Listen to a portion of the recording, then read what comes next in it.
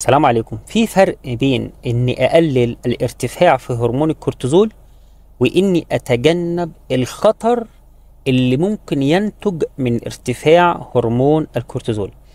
أنا هنزل فيديو أتكلم فيه إزاي نقدر نسيطر على الارتفاع المزمن في هرمون الكورتيزول وإزاي نقلله وهنزل فيديو آخر إزاي تقدر تتجنب خطر الارتفاع المزمن في هرمون الكورتيزول للناس اللي هي للأسف مش بتقدر تسيطر على ارتفاع هرمون الكورتيزول وفي نفس الوقت بعض الأحيان ارتفاع هرمون الكورتيزول المزمن بيكون تسبب في مشاكل كتير جدا لازم تتحل. عشان نتخلص من الارتفاع المزمن في هرمون الكورتيزول في سبع حلول لازم تمشي عليهم.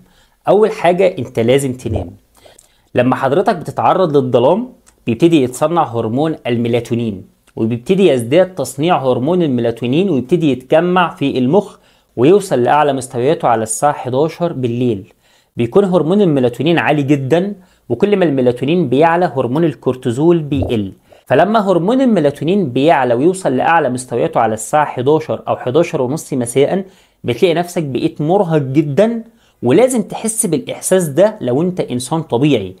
لما بتلاقي نفسك مرهق جدا فتبتدي تدخل تنام. بيكون هرمون الكورتيزول في الوقت ده في أقل وأدنى مستوياته. وبتيجي حضرتك تصحى الصبح تلاقي هرمون الكورتيزول بدأ يعلى يعلى يعلى علشان يهيئ جسمك لل stress والشغل واليوم الجديد. في نفس الوقت بيبتدي الميلاتونين يتكسر وينزل ودي طبيعة الجسم. الميلاتونين يسيطر عليك بالليل أما هرمون الكورتيزول يسيطر عليك أثناء النهار. يبتدي يزداد معاك ويوصل لأعلى مستوياته مع مرور الوقت ويرجع يقل لما حضرتك تتعرض للظلام. كل ما الميلاتونين زاد تصنيعه كل ما الكورتيزول قل. أول عادة صحية لازم تتبعها إن لازم حضرتك تنام.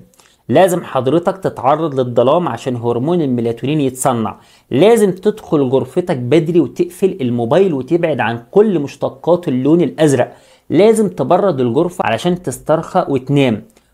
رقم اتنين لازم نمارس تمارين التنفس العميق خاصة لو كان تمارين التنفس بتحفز العصب الحائر أو ما يسمى ال vagal nerve وده نوع من أنواع الأعصاب اسمها ال parasympathetic nerve. العصب ده لما بيشتغل عندنا بنلاقي نفسنا relax وبنهدى بسرعة جدا. وأفضل تمرين تنفس ممكن تحفز بيه العصب الحائر هو إنك تجيب صباعك تحط صباعك على الأنف اليمنى وتكتمها تكتم فتحة الأنف من الجهة اليمين وتتنفس من الجهة الأيسر. تبتدي تاخد نفس عميق في خلال أربع إلى خمس ثواني وتكتمه خمس ثواني وتبتدي تخرجه ببطء في ست إلى سبع ثواني. اعمل التمرين ده على الأقل مرتين قبل ما تيجي تنام كل يوم وشوف إيه اللي هيحصل لك. رقم ثلاثة لازم تخرج تتمشى في الطبيعة خاصة قبل غروب الشمس. لازم حضرتك تخرج تتمشى أثناء الغروب عشان تتعرض لشمس الغروب. أشعة الشمس اللي بتبقى موجودة أثناء الغروب ديت أشعة اسمها ال IR بتحفز إخراج هرمون الميلاتونين اللي بيكون موجود في الجسم.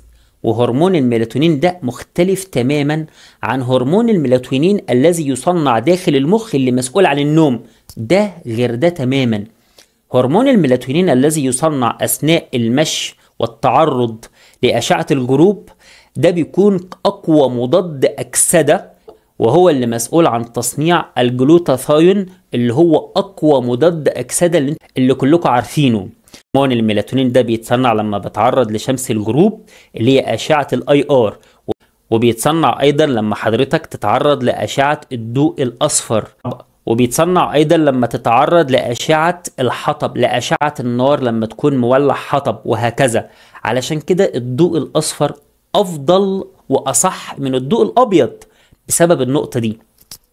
رقم أربعة مش محتاج إن أنا أوصيك إنك تبعد عن أي سبب يؤدي إلى حدوث توتر وستريس عندك سواء كان في الحياة الشخصية أو الحياة العملية وكل واحد أدرى بنفسه لأن ده في حد ذاته بيخليك تحترق نفسيا وبيخلي الغدة الكظرية تحترق بسبب الفرط إفراز هرمون الكورتيزول المزمن.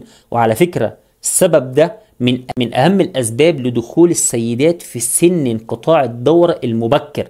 والموضوع ده شرحته قبل كده. إن للأسف مع الضغط المستمر على الغده الكظريه لإفراز هرمون الكورتيزول بتحترق الغدة الكظرية وبيحصل فيها إرهاق وتعب شديد جدا.